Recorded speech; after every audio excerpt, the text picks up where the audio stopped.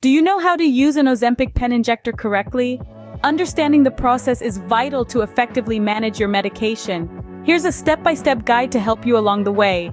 First, always read the medication guide and instructions for use provided by your pharmacist each time you get a refill. This is important because it helps you understand all preparation and usage instructions.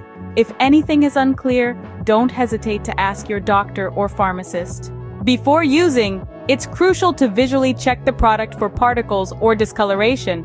If you notice any, refrain from using the liquid.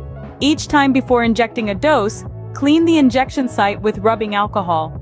Also, it's good practice to change the injection site each week to minimize injury under the skin. The medication is typically injected under the skin in the thigh, abdomen, or upper arm.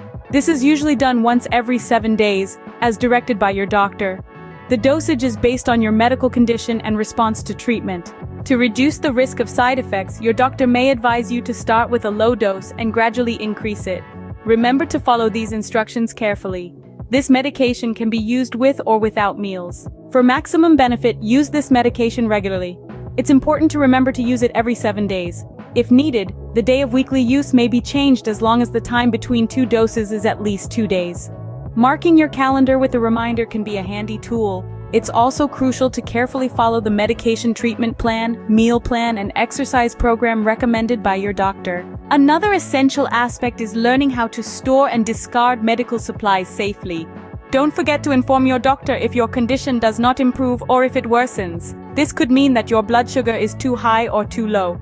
That's the process in a nutshell.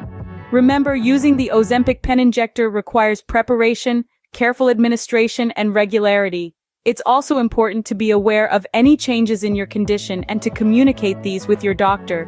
After all, managing your medication effectively is a key part of taking control of your health.